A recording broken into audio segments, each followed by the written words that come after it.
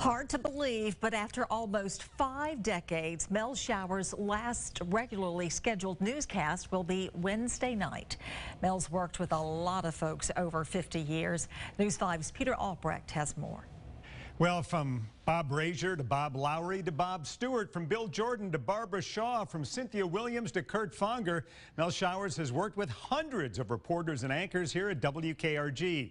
Tonight, Mel looks back on some of those relationships, and we hear from a few old friends. When you've been someplace for 50 years,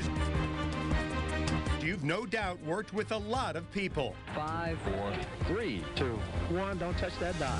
And all those coworkers likely would have nothing but good things to say about Mel Showers and vice versa. Mel is especially fond of the morning news team he worked with from 1981 through 1990 with co-anchor Drexel Gilbert and Scott Hunter with sports. Oh, my goodness, Scott. You you would not believe what a fun time we had with Scott. I look forward to showing up every day because it was just fun to do that show. You name it, he would joke to me about it. I mean, he would let me have it. Of course, they were professionals, and I didn't know what in the world I was doing. In the case of Drexel, we had these split boxes. I would be in Mobile and she would be in Pensacola, and we were acting as if we were right next to each other. We had so much fun, and Many of the viewers, they let us know they didn't want that serious approach to news in the morning that we we started with when we were getting zero ratings. We'd come on and say, good morning, here's the news, and it's not good. And they didn't want that. They wanted to see some smiles on our faces while they're getting up in the morning, having to go to work, and they wanted to, you know, have some fun. That worked. That went skyrocketed. Our, our morning effort just uh, was unbelievable. Mel was moved to nights in 1990, where he teamed first with Kelly Jones. Kelly was my first night side co-anchor, and very, very talented. She was an extreme talent. It was always a joy, and because Mel is the most friendly and most easiest person to talk to. He just radiates well-being and goodness.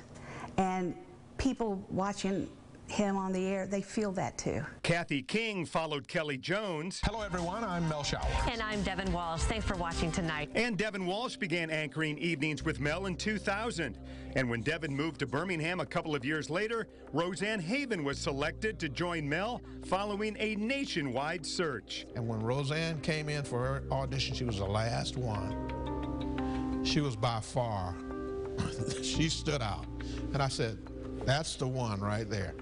And But it wasn't my decision to make, but the people behind the scenes, the consultants and what have you, they had already decided she was the one. And I agreed with them. She was the one. Since 2002, Roseanne, Alan Sealls, and Randy Patrick have teamed with Mel. They are wonderful people. Oh, they are so easy to work with and work for. And they are so supportive and I've, I've, been with Randy now for maybe 35 years. And Roseanne for 17, Alan for more than that. And it's just a good group. For more on Mel's great 50-year career, go to WKRG com. Mel, they were moving kind of quickly, but a lot of familiar faces there oh, at yeah. the beginning of that story. I tell you, it was good to see some of those faces. we had some great times back in the day, especially in the morning. Oh, did we clown in the morning? but it was fun, and uh, we're surrounded by a lot of professionals. And all with great love and admiration for you, for sure, Mel. And I love Absolutely. them back. yes. We love you.